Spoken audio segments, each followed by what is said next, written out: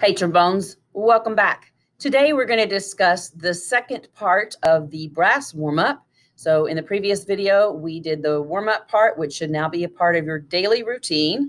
And today we are going to be on this part down here. I can get my screen to go down. There we go. Uh, this section called lip slurs at measure 37. So you may notice this big curvy line up here. Kind of looks like an upside down smiley face. This is a slur. And what it means is that we are going to tongue the first note with a da, da. And then the second note, we are just going to move the inside of our mouth. So it's going to go, I like to call these tacos because they go da. So these are your teeth. This is the inside of your mouth, the ah shape. Ah, oh. So we go down to the low B flat. We need to change the, the shape of the inside of the mouth. Ah, oh. And that kind of sounds like tacos. Da, oh. So I'm going to demonstrate that for you, and then uh, we will talk about some other notes that we can do that with. So I'm going F to B flat. So I'm in first position. And so I'm making sure that my slide is locked right here. I'm kind of paranoid about my slide. I'm always checking that to make sure it's locked. Um, so my little hand puppet over here is going to show you what the inside of my mouth looks like.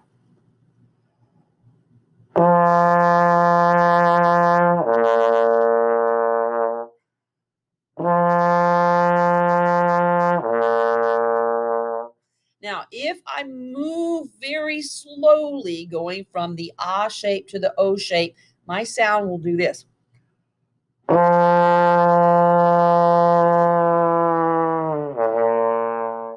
And it sounds kind of gross. So what I need to do is I need to make that change from the ah to the O pretty quickly. Can you try that with me? Here we go tap, tap, and start with the ah.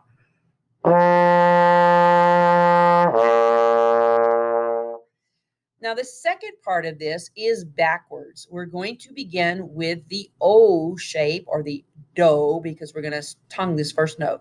So it'll be do. So watch my mouth very carefully here as I move from the O to the ah. And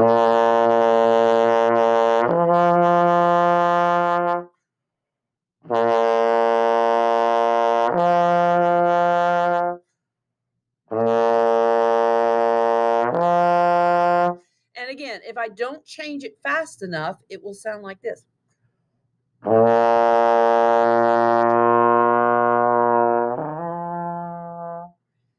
Which is kind of gross. So I need to move, I need to flip the inside of my mouth faster. And when you go for the higher note, you are going to need to move the air faster also at the same time. So I'm changing the inside of my mouth and moving the air faster.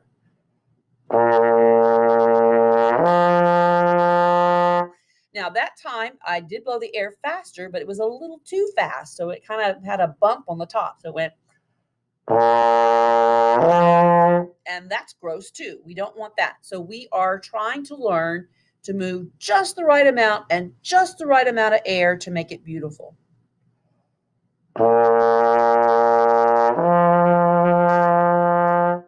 So as you're beginning to practice this line, think about the O and the ah, the ah and the O. And remember that we're going to start with the D sound in front of whatever inside of the mouth shape we're going to do. So do, do is the way these are going to work. Now, the cool thing about the lip slurs is that we can do that on every single position of the instrument. So that was in first position. Now I'm going to move to uh, second position. It's a short two, so I'm just a little bit further out here. Then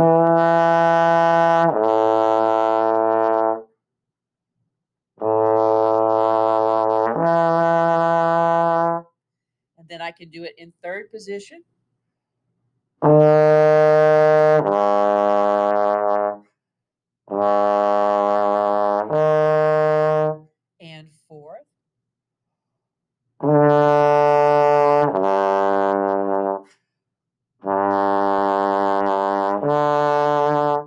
And fifth, and so on. So all seven positions, we can do these slurs. So I want you to begin practicing them, first of all, in first position. And when you feel like you have figured out how to move the air and to flip it quickly, then go ahead and start doing uh, this in all seven positions. Um, it will be a little more challenging as you go lower and add more pipe as you get out to the seventh, sixth, and seventh positions. But uh, this is an essential skill for all brass players. So make sure that you are adding this now to your daily warm up routine. Thanks for dropping by for this video. Good luck with your practicing. Next video, we're going to cover the third section of this warm up, the articulation exercise.